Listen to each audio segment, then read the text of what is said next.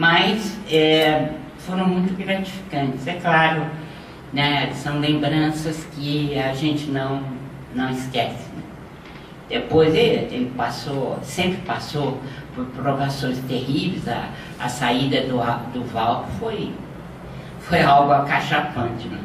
porque Valdo foi buscá-lo e Pedro Leopoldo tinha se comprometido com o mundo espiritual e depois não aguenta nem 10 anos no serviço e já vai embora. Né? E no livro eu senti vontade de, é, uma certa forma, responder ao Valdo. Não diretamente, porque não tem necessidade disso, mas como ele saiu e, e foi desrespeitoso com o Chico, eu achei por bem, inclusive, contar a verdade, as coisas como se passaram. E vocês vão ver que é, é, bem, é bem difícil a situação do Valdo no mundo espiritual. Não é nada fácil. Porque em 1994, eu e o Paulo fomos lá pelos 20 anos da Folha Espírita. E ele deu uma saudação para a gente nos 20 anos da Folha. E o Valdo estava na cidade e diziam que ele, o Valdo ia visitá-lo. Aí eu perguntei para ele, Chico, você não vou. E aí o Paulo, meu irmão, falou assim, mas Chico, você vai recebê-lo algum dia? Vou, daqui 1500 anos. E eu fiz questão de colocar isso no livro. Fiz questão de colocar.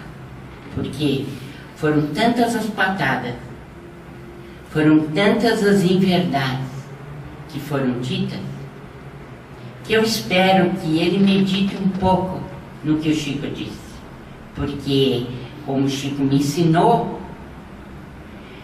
eu sou uma besta espírita, mas não sou um espírita besta. Engana-se, enganavam-se muito aqueles que achavam que devido à humildade dele, ele não tinha opinião própria e ele não reagia de conformidade com aquilo que precisava reagir. Muito pelo contrário. As entrevistas dele e Chico foram maravilhosas, de grande envergadura moral naquela ocasião, de lisura, de educação espiritual. Mas dentro dele, o julgamento já tinha sido feito e a sentença já tinha sido dada.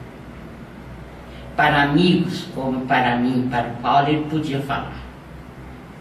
E é claro, se ele me pediu para escrever sobre a vida dele, eu faltaria com a verdade se eu não contasse o que ele nos falou.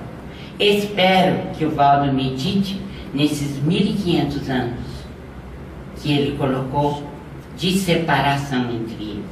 E saiba que o fosso não foi tão simples como o Valdo pensa. Não é assim.